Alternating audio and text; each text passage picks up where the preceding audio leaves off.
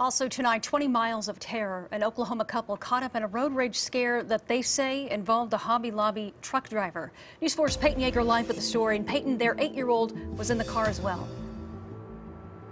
Jolene, very scary. Thankfully, the family is okay, but they tell me what's not okay is their car, and they claim Hobby Lobby is not helping.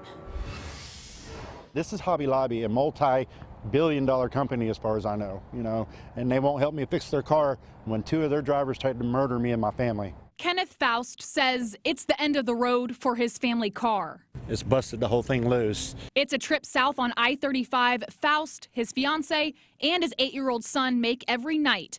But Tuesday, a Hobby Lobby shipment out of OKC was behind them.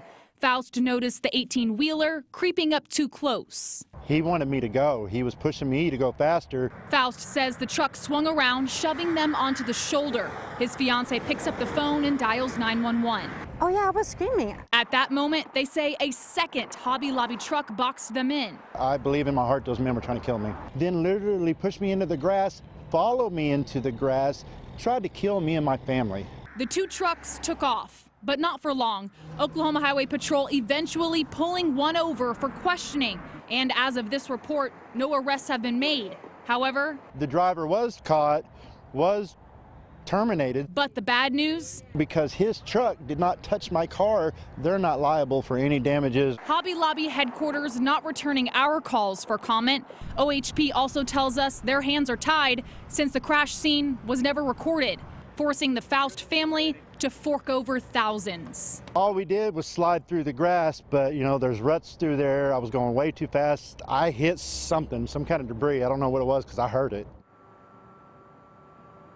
OHP confirming to me this is a road rage incident and it's very preliminary in the investigation. However, Foust has contacted an attorney. He's speaking with him and he tells me another witness on the road has contacted him. So there could be much more to this story.